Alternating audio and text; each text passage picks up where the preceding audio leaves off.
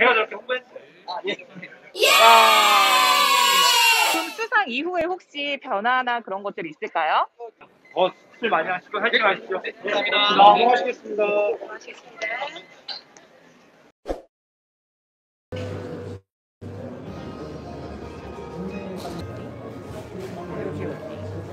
입장하면서 요거 요거 부착했어요. 저는 지금 세종시에 행사 취재하러 와 있습니다. 오늘 어떤 제품이 있는지는 조금 이따가 보여드릴 건데 뭐 이런 이런 이런 부스가 있고 여기서 개막식이 시작됩니다. 책자도 받았고 사업에 대한 팜플렛도 같이 주셔가지고 좋은 제품을 정부가 먼저 구매해서 소개할 수 있는 그런 자리입니다. 그러면 공식 행사가 시작되면 자세히 중계해 드릴게요. 이번 행사에서는 혁신 조달, 혁신 제품 인증 마크에 대한 브랜드 선포식이 있었는데요. 지속 가능한 혁신 조달 사업을 상징하는 세 가지 키워드가 큐브 형태로 구현되었습니다.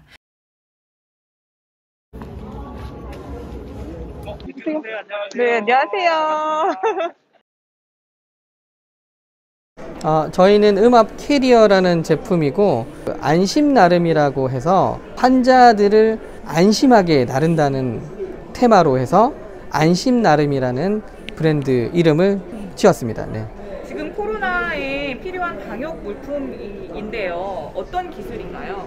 현재 그 음압 캐리어는 내부의 음압을 유지를 해서 외부와 내부를 차단하는 그런 목적을 가지고 있고 코로나 의심 환자라든지 코로나 환자들이 내부에 있을 경우에 소방대원이라든지 병원 관계자들이 환자를 이송할 때 코로나 환자로부터 2차 감염을 방지하기 위해서 만든 장비라고 보시면 되고요.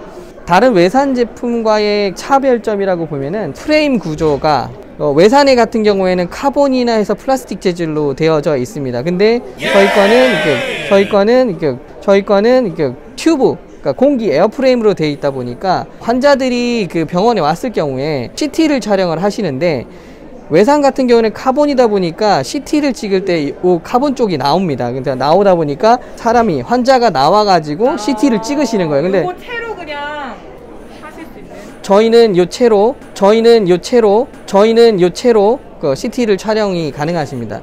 왜 이 그 장점인가를 말씀드리면은 그 CT실에 환자가 밖으로 나왔을 경우에 CT실 자체가 오염이 돼버리다 보니까 그 CT실을 멸균을 하고 하는 과정, 뭐 살균 뭐 하는 과정이 뭐 30분에서 대기 시간 2시간에서 한 번 코로나 환자가 찍고 나서부터는 그 CT실을 한 두세, 2시간 정도는 비워둬야 된다는 그런 단점이 있고 어, 요 제품 같은 경우는 찍고 나오면 바로 사용이 가능하기 때문에 어, 그런 장점을 가지고 있습니다.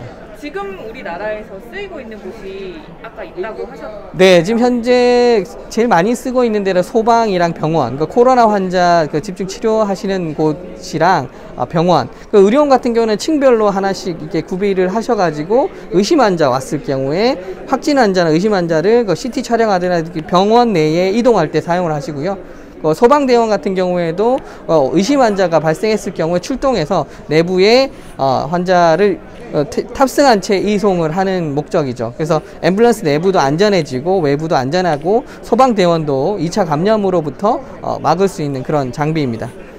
그럼 혹시 수출을 고려하실 것 같은데 현재 상황이 어떠신지 아. 어려운 점도 괜찮습니다. 아, 지금 현재 저희가 그 코이카를 통해서 아, 지금 에티오피아 외 8개국 그리고 5월달 이번 5월달에 그 인도발 이 코로나 일어나면서 한 200대 정도의 수량이 그 코이카를 통해서 지금 원조가 돼 있는 상태입니다. 그래서 그런 걸 바탕으로 뭐 코트라든지 뭐 상공회의소 등등을 이용으로 해서 그 해외 파트너들을 지금 모색하고 있는 중입니다. 네. 그럼 그 시작이 혹시 그래서 여기 혁신 제품이 되면서 어, 그 부분은 모르겠습니다.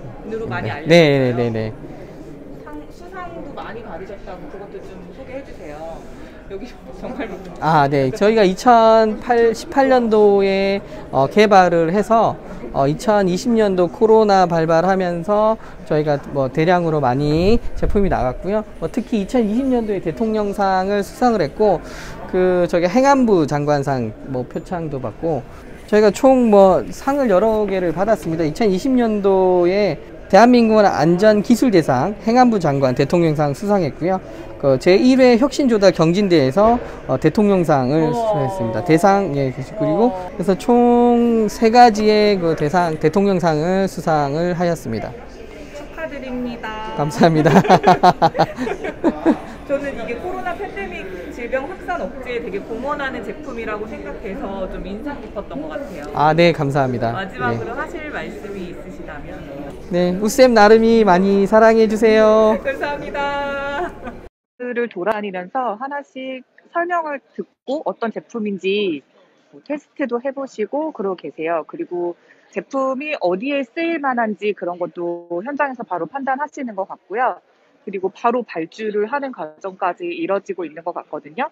그러니까 좋은 제품을 찾아서 정부가 먼저 구매를 해서 판로를 찾을 수 있도록 어, 어, 그런 판로를 개척해주는 그런 전시회인 것 같습니다. 그래서 지금 여러 브랜드들이 나와 있고 하나씩 하나씩 제품을 설명하면서 또 청장님 외에 다른 VIP 분들께서 기빈 분들께서 어, 찬찬히 살펴보고 설명 듣고 그러고 계십니다.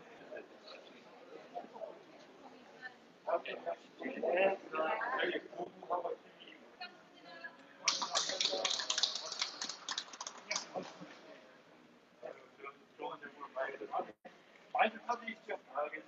기계부가 그러고 행사가 끝나서 제가 다시 조금씩 디테일하게 소개해 드릴게요.